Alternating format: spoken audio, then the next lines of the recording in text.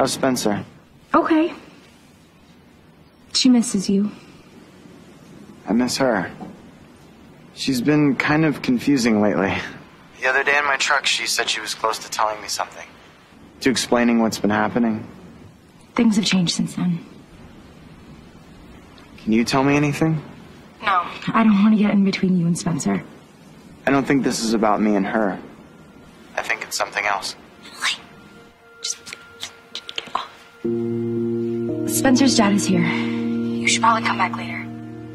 When he's not here? Or when Spencer's not here?